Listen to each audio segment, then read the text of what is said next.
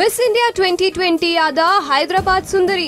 Savina Miss India twenty twenty ಆಗಿ ಹೈದರಾಬಾದ್ ಮೂಲದ ಮಾನಸ ವಾರಣಾಸಿ ಆಯ್ಕೆಯಾಗುವ ಮೂಲಕವಾಗಿ ಕಿರೀಟವನ್ನು ಮುಡಿಗೇರಿಸಿಕೊಂಡಿದ್ದಾರೆ. ಮಿಸ್ ಇಂಡಿಯಾ ಟ್ವೆಂಟಿ ಟ್ವೆಂಟಿಯ ಪಟ್ಟಕ್ಕಾಗಿ ಹಲವು ಸುಂದರಿಯರು ಪೈಪೋಟಿ ನಡೆಸಿದ್ರು. ಮಾನಸ ವಾರಣಾಸಿ ಅವರಿಗೆ ಮಿಸ್ ಇಂಡಿಯಾ ಕಿರೀಟ ಸಿಕ್ಕಿದೆ. ಎರಡ್ ಸಾವಿರದ ಇಪ್ಪತ್ತೊಂದರ ಡಿಸೆಂಬರ್ನಲ್ಲಿ ನಡೆಯಲಿರುವ ಮಿಸ್ ವರ್ಲ್ಡ್ ಸ್ಪರ್ಧೆಯಲ್ಲಿ ಮಾನಸ ಅವರು ಭಾರತವನ್ನು ಪ್ರತಿನಿಧಿಸಲಿದ್ದಾರೆ. ಮಾನಸ ಮೂಲತಃ ತೆಲಂಗಾಣದವರಾಗಿದ್ದಾರೆ. ಫ್ಯಾಷನ್ ಜಗತ್ತಿನಲ್ಲಿ ಎಲ್ಲರ ಗಮನ ಸೆಳೆದಿರುವ ಈ ಸುಂದರಿ ಕಂಪ್ಯೂಟರ್ ಸೈನ್ಸ್ ಇಂಜಿನಿಯರಿಂಗ್ ಅಲ್ಲಿ ಪದವಿಯನ್ನು ಪಡೆದಿದ್ದಾರೆ. ಪುಸ್ತಕಗಳನ್ನು ಓದುವ ಹವ್ಯಾಸ ಹೊಂದಿದ್ದಾರೆ. ಸಂಗೀತ ಮತ್ತು ನೃತ್ಯದಲ್ಲಿ ಮಾನಸ ಅವರಿಗೆ ಅಪಾರ ಆಸಕ್ತಿ ಇದೆ. ಯೋಗ ಪಟು ಭರತನಾಟ್ಯ ಕಲಾವಿದೆಯೂ ಆಗಿದ್ದಾರೆ. ಮಾನಸ ಬಿಡುವಿನ ಸಮಯದಲ್ಲಿ ಬಟ್ಟೆಯ ಮೇಲೆ ಕಸೂತಿ ಹಾಕುತ್ತಾರೆ.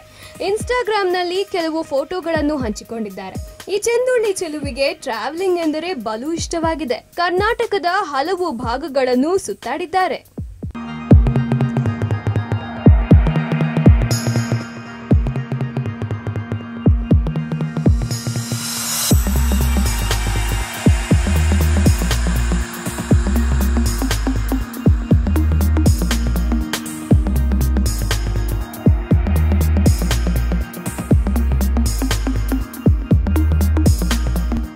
ಬಾಲಿವುಡ್ ಬೆಡಗಿ ಪ್ರಿಯಾಂಕಾ ಚೋಪ್ರಾ ಅವರನ್ನು ಮಾನಸ ಸ್ಫೂರ್ತಿಯಾಗಿ ಇಟ್ಟುಕೊಂಡಿದ್ದಾರೆ.